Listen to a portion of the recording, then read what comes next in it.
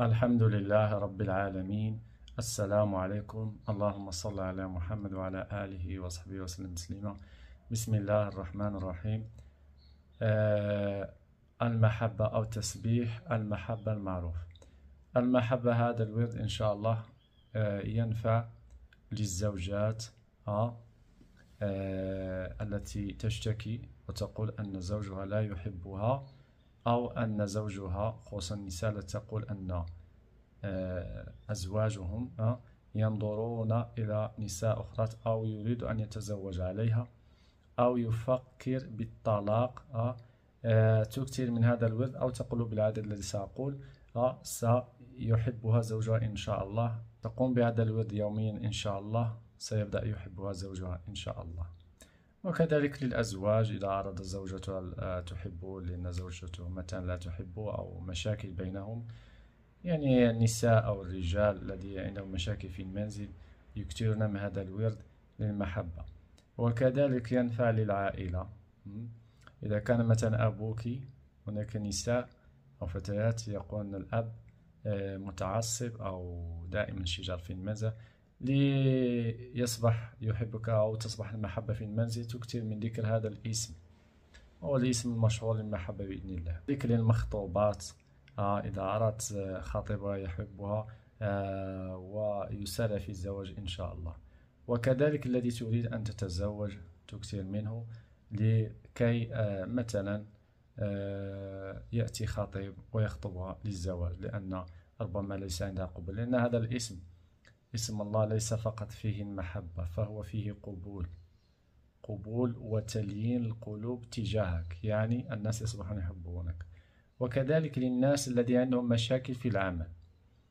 عديد من الناس تقول هذا المشكل عندهم خصوصا اسمع خصوصا إذا كنت تقرأ سورة البقرة أو بدأت جديدا في الميدان بدأت تقرأ سورة البقرة.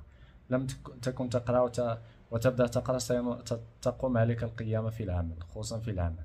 شجار الحساد وتقليل من شأنك ويتكلمون في أعراضك ودائما الشجار والحسد و ولا يحبونك في العمل خصوصا العمل خصوصا العمل. فلتكثر من هذا الاسم. إيه، وأنا أوصي الذي يقرأ سورة البقرة يربط بهذا الاسم يذكر هذا الاسم.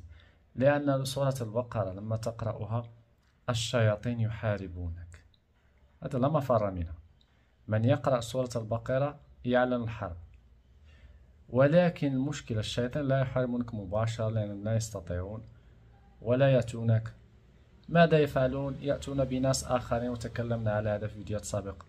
يأتون بناس آخرين الذين مسيطر عليهم القارئين والذين لا يقرأون سورة البقرة والذين ضعفاء إيمانهم. إيمانهم ضعيف. فيستولي عليهم قرينهم أو شيطانهم فيأتونك ويأذونك بلسانهم وبأيديهم. أه؟ فلتكثر من هذا الاسم كي تفاعل طاقة المحبة بينك وبين الأشخاص.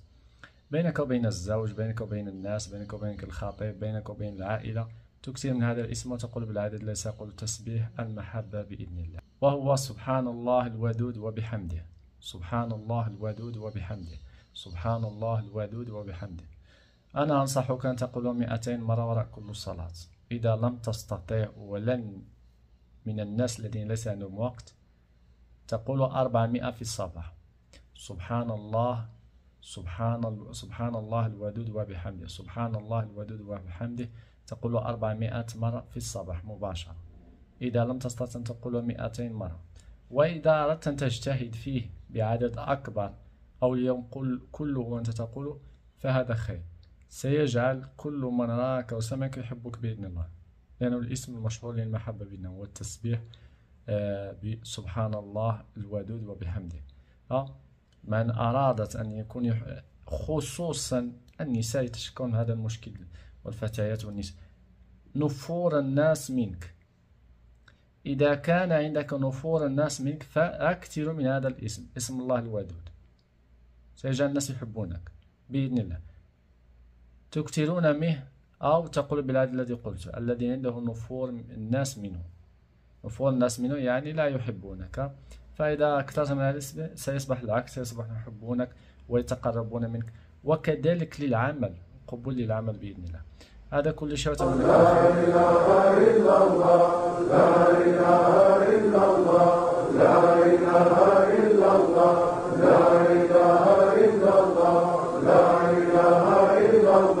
Love.